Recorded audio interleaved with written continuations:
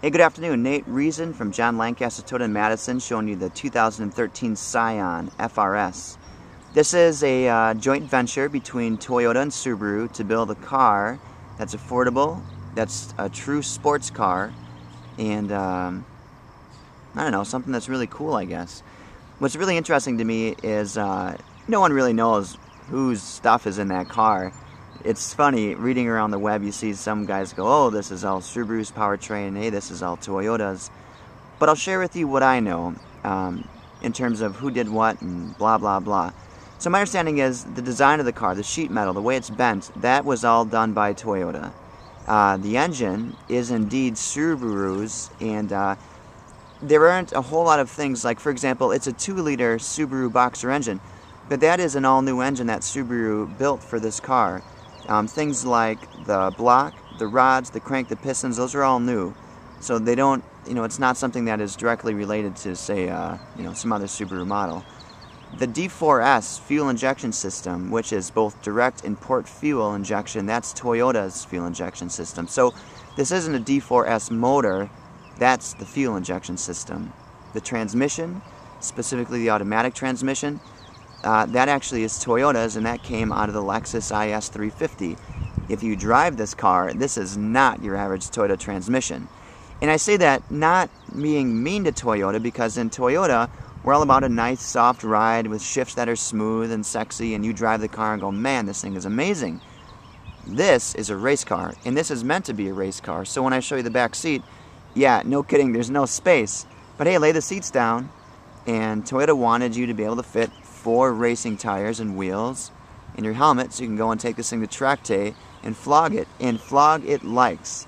I had the opportunity to drive this at the launch in Joliet, Illinois, and uh, and Toyota and Scion said, dude, drive the car, power slide it, go fast, hit the brakes, have a good time, just don't crash it. And we did, and it is a power slide machine. I think if I say power slide, I think I'm dating myself. I believe the real term these days is called drifting. But it is a neat car. The concept for the car came from the Toyota Corolla AE86. It came from the old Toyota GT, which a lot of us go, the what?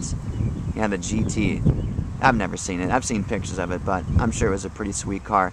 But a couple neat facts about the outside of this car. Those 17-inch wheels are the lightest that Toyota's ever made, showing a further commitment to making a light car that likes to go around the corners sideways and is a very handily car.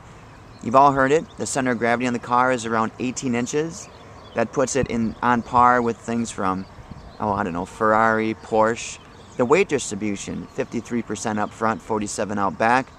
While I'm like, dude, that's amazing. Evidently, that's the way it is when you build a supercar. So, a lot of neat things went into this car. Toyota wanted this to be a real driver's car, something that you and I, normal folks that don't make a quarter a year, can buy, go out, have a good time with, and even go down the road and get reasonable gas mileage. This thing gets like 30, um, excuse me, about 30 miles per gallon overall. That's pretty darn good. Buy a Corolla? I don't think so. Let's buy an FRS. So uh, I wanted to point out on the fender this uh, 86 emblem. There's a few things behind it. So obviously the number 86, AE86, Toyota GT86, whatever. Uh, the bore and stroke in that engine happened to be 86 millimeters.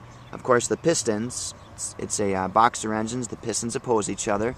And then the four blocks are the four wheels showing the car in a drift around a corner. That's, that's really what's behind that emblem. 17 inch wheels on my car are, in, are wrapped in Michelin rubber. When we drove the car, it was nice rubber. Sticky enough to go around the corners.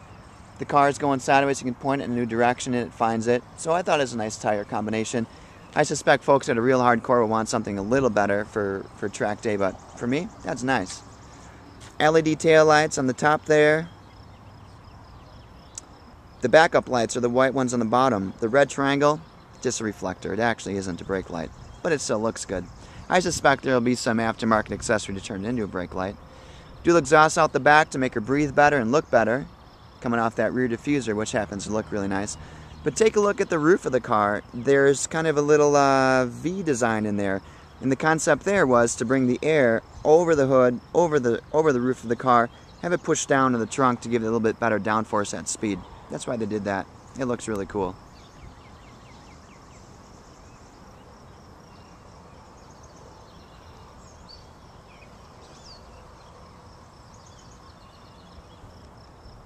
On the front of the car, projector halogen headlights, because that's what we do these days. Nice headlights, they look good, but also driving behind them uh, projects the low beam headlight on the road, so you have good low beam performance.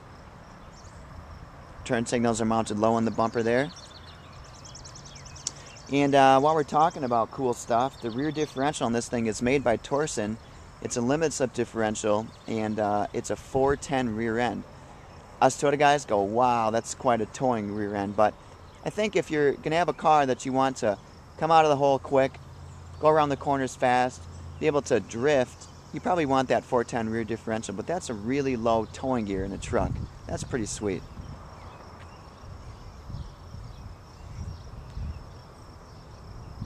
Some pretty neat suspension bits I want to point out here, and then I'll pop under the hood.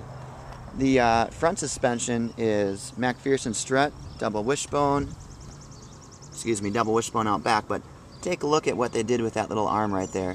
They kept it tucked more on the outside, not under the engine bay, so you get you can keep that engine mounted low. And let's take a look under the hood.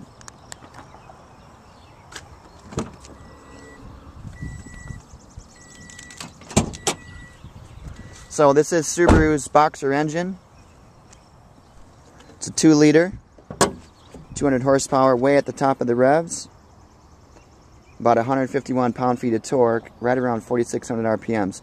The D4S is talking about Toyota's direct fuel injection. But nice looking engine bay here. Get you a look on the inside. I'll be right back.